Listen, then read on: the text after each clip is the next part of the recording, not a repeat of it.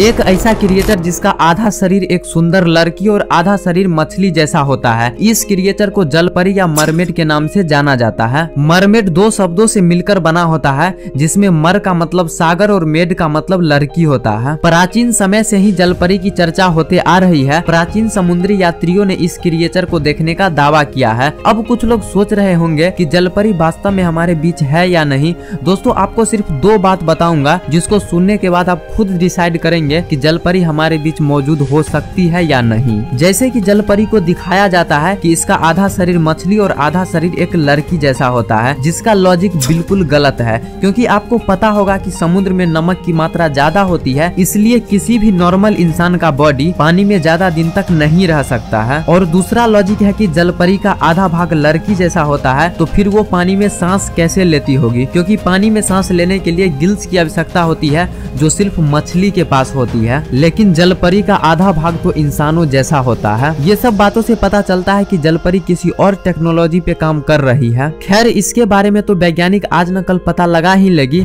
लेकिन आज मैं आपको कुछ ऐसी वीडियो क्लिप्स और कुछ ऐसी जगह के बारे में बताऊँगा, जहाँ की घटना जलपरी के बारे में आपको सोचने पर मजबूर कर देगी। क्रितियम इजराइल। इजराइल के क्रितियम शहर में एक पुराना बीच है, जहाँ पर बहुत दूर दूर से लोग घूमने आते हैं, क्योंकि इस बीच को जलपरी का घर माना जाता है, क्योंकि 2013 में कुछ आदमी के द्वारा एक जलपरी को देखा गया। वो बंदा जल्दी से कैमरे निकालकर उस मूवमेंट को शूट करने लगा। इस वीडियो में आप देख सकते हैं कि समुद्र के बीच एक जलपरी जैसे क्रिएचर है, जो समुद्र के बीच एक पत्थर पे बैठी हुई है। इस वीडियो क्लिप को काफ़ी दूर से शूट किया गया है, इसलिए इतना क्लियर नहीं है। कुछ देर देखने के बाद एक आदमी उस पत्थर के पास जाने लगता है, तभी आप साफ़ देख सकते हैं कि वो क्रिएचर समुद्र में छलांग लगा देता है। उसके बाद इस वीडियो को यूट्यूब पे पब्लिश किया गया और वो वीडियो काफ़ी तेज़ी से वायरल होने लगी। पर वो क्रिएटर क्या था? आज तक किसी को नहीं पता, इजिप्ट मरमेड। इजिप्ट में एक गुफा खोजा गया, जिसका नाम इजिप्ट मरमेड है। इस गुफा में बहुत सारी प्राचीन पेंटिंग बनी है, जो साबित करती है कि जलपरी की चर्चा प्राचीन समय से होती आ रही है। कुछ लोगों का कहना है कि जलपरी को प्राचीन लोग जानते थे,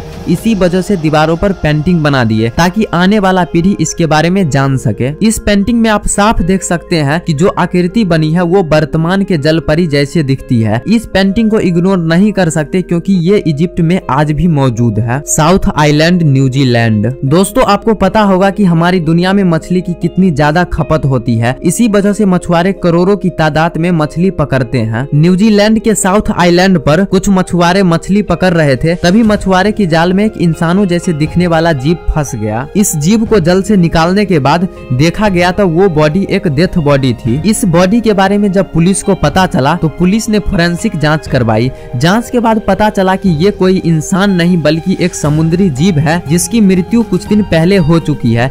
इस जीव को देखने के बाद साइंटिस्ट को भी जलपरी पे बिलीव होने लगा। क्रिस्टोफर कोलम्बस सन चौदह जब क्रिस्टोफर कोलम्बस समुद्री यात्रा कर रहे थे तो उनको तीन जलपरी दिखी। कोलम्बस को कौन नहीं जानता है, इन्होंने अमेरिका जैसे बड़े देश को खोज किए थे। ये एक महान समुद्री नाविक थे, उन्होंने बहुत सारी समुद्री यात्राएँ भी की, इसलिए इनके बात को इग्नोर नहीं कर सकते हैं। इनका कहना था कि जब वो समुद्री यात्रा कर रहे थे तो उनको एक पत्थर पर तीन औरत दिखी। जो जलपरी जैसे दिखती थी। जब इन्होंने नाव को उसके करीब ले गए तो तीनों औरत ने समुद्र में छलांग लगा दी। इन तीनों औरत का आधा शरीर इंसान और आधा शरीर मछली जैसे था। इसके साथ साथ इनके नाव में सवार प्रत्येक व्यक्ति ने इस घटना को अपनी आँखों से देखा। Sea mermaid Mexico. आप ये तस्वीर तो बहुत सारी वीडियो में देख चुके होंगे।